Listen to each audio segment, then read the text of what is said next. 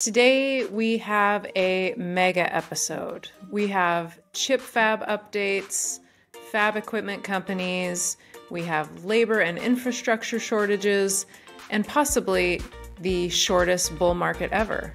Or is it? Also, we're going to talk about lithium pricing and why we still like Albemarle and onsemi. To kick us off, we're going to start with Intel and some news that came out of Germany. Before continuing, let me remind you to hit the like button and subscribe to the channel if this video is helpful as you do your own investment research and increase your knowledge of business and technology. We really appreciate the support as subscribing to the channel helps us continue putting out content like this. Yes, Casey, let's start with this news specifically from Germany. So, as you all may have known, last year Intel said it was planning a new uh, fabrication complex in Magdeburg, Germany. Originally, this was going to be something like a 17 billion euro investment.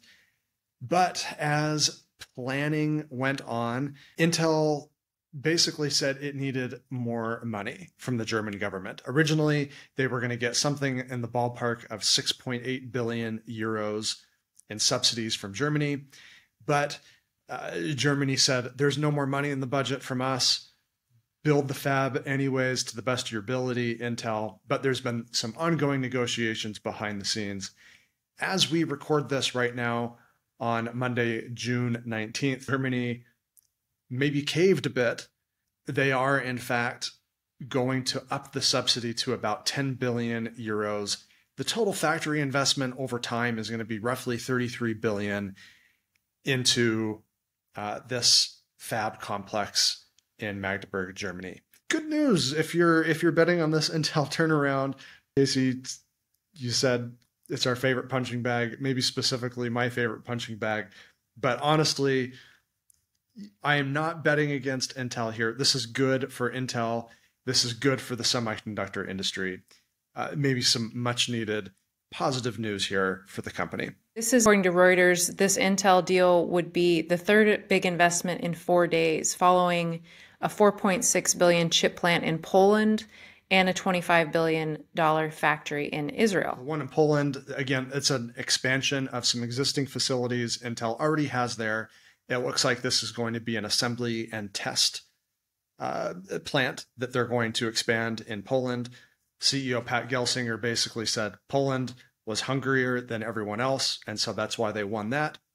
And then, as you mentioned, the 25 billion in Israel, nothing has been said from Intel. As again, as we record this, anyways, Intel hasn't said this, but it's actually Israel's Prime Minister uh, Netanyahu said this on Sunday.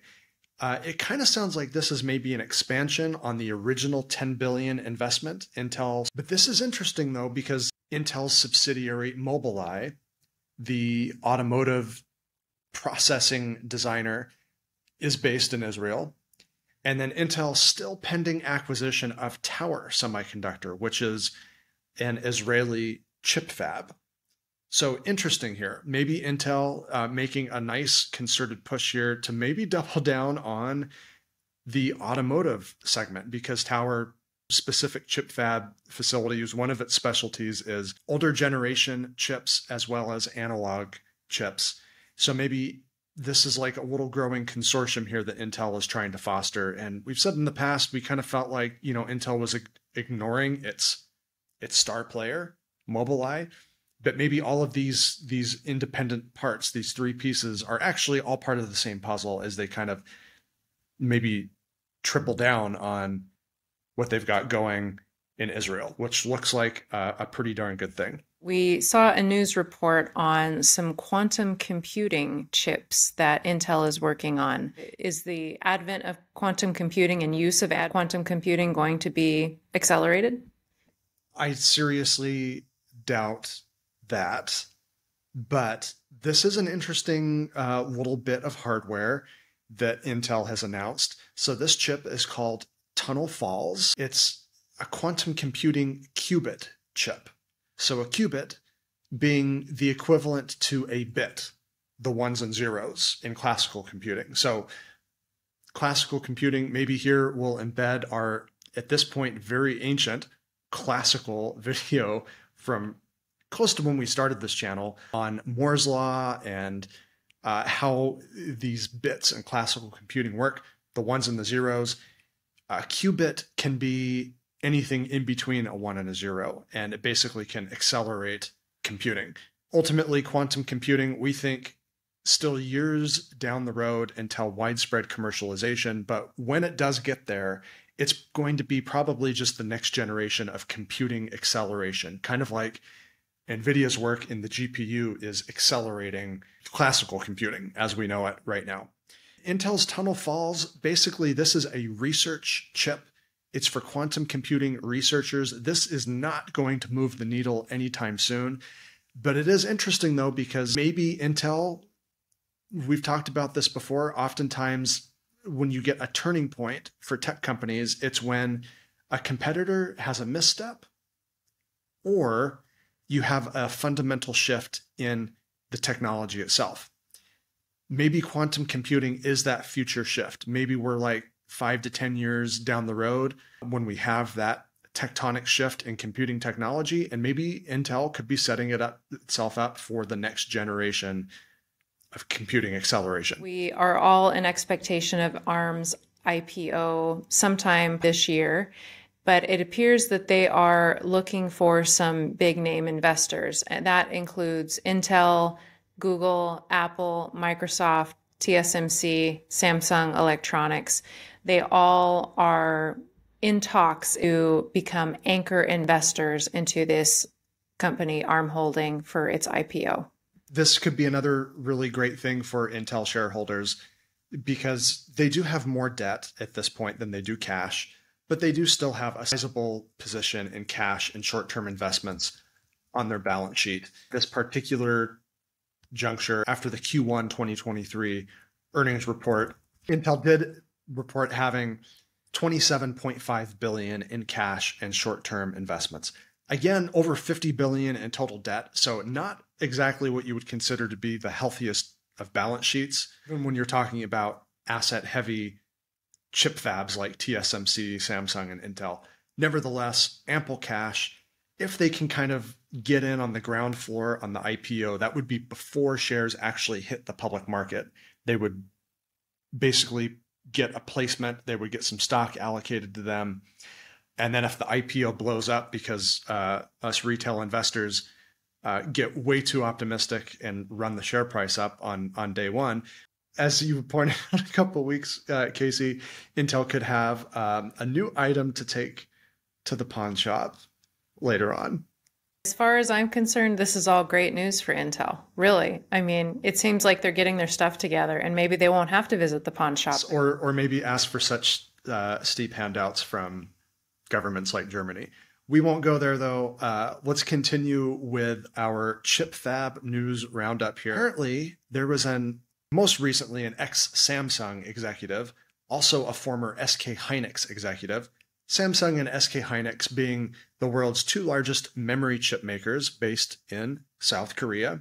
This ex executive was arrested for stealing tech and trying to set up a copycat fab in mainland China with stolen Samsung technology, about a mile or so from an existing Samsung fab in mainland China interesting things going on here in the chip fab world. We'll get to our overall thoughts on this in a moment. I think everyone has seen either a photo or a news article or a video of Bill Gates visiting President Xi in China. Don't know what that's about, but it has to do apparently with AI. And we put this in the video because saying AI in every video is important. Yes, it is. Uh, we got to feed the algorithm. Okay, enough of that. We have no idea what that's about. But uh, let's talk about Micron in China. This has all sorts of political intrigue around it. So, Micron's disaster in China. This is a bit of a tit for tat uh, response, sounds like. But a number of weeks ago, China decided to ban Micron's memory chips for some of its commercial applications. Micron said late in May that up to half of their Chinese revenue from China would get impacted, which would represent perhaps a low teens or even upwards of a high teens percentage of their total overall revenue. I'm sure Micron will provide us with some updates on that come their next quarterly earnings update on June 28th. Interesting here, after Micron said up to half of their revenue from China would get impacted, Micron proceeds to say here more recently they are going to be investing $600 million in their Chinese chip packaging facilities in the coming years. What the heck is going on here? According to the report that Nick is referencing here, the Cybersecurity Administration of China said that in May, Micron failed its security review and barred operators of key domestic infrastructure from purchasing these memory products. So it seems kind of confusing that Micron would be now reinvesting more money into China. Ultimately goes to show that Micron really needs to be able to sell these mid-range memory chips in a market like China, as well as having access to these manufacturing facilities in China. Yeah, it's it's a, an, a very affordable place to operate a chip packaging facility. So, political intrigue or not, Micron's still investing in mainland China and apparently also India now. So Micron apparently nearing a deal and a possible official announcement here that they will be investing, according to reports, at least $1 billion, if not closer to $2 billion, in a new packaging facility there. So congrats, India. Uh, you're going to get a much larger presence in the global semiconductor supply chain. Just for reference here, though, Micron had announced uh, late last year in 2022 that they would be investing some $100 billion over the next 20 year span in the US.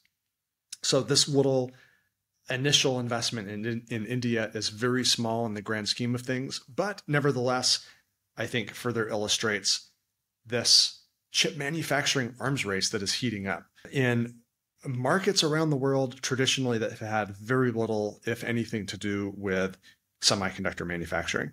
Okay, to wrap up this segment, we just have one more chip news item here. Nick, what is it? Yes. So, Global Foundries, that is the former manufacturing arm of AMD, now its own independent publicly traded company.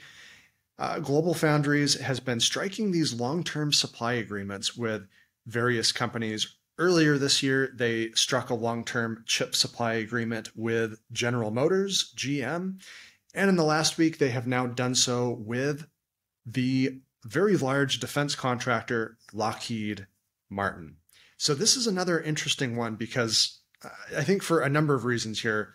First, you know, this helps a company like Lockheed Martin secure domestic, US domestic supply of chips for what are considered mission critical or uh, national security sensitive applications. But a little bit more than that, this is also interesting because part of this announcement, Global Foundries and Lockheed Martin said that they were also going to collaborate on building a chiplet ecosystem. So we'll talk about this a little bit more in this segment when we talk about some specific chip fab manufacturing equipment companies.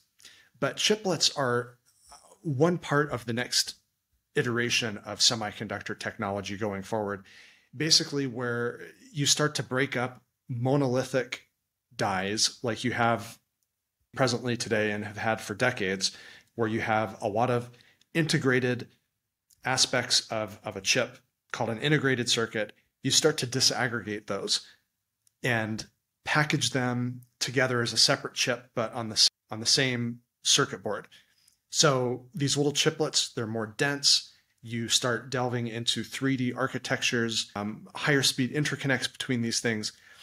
And it allows for a company like, let's say, Lockheed Martin to maybe pick and choose who is going to design these chiplets. So presently, right now, maybe they like only use an AMD design, but later on they might be might be able to use these chiplet architectures where maybe they pick and choose uh, different designs from disparate sources. So building out this chiplet architecture where you bring in multiple vendors to supply an ultimate design uh, in an end application. Interesting. It's interesting to see this take place here. A number of companies have been talking about this, developing their own chiplet architecture. We know TSMC is working on this over in Taiwan. Uh, Samsung working on this in South Korea. Global Foundries sounds like entering this fray as well. Intel, you name it. Companies around the chip fab world trying to prepare for this chiplet architecture future.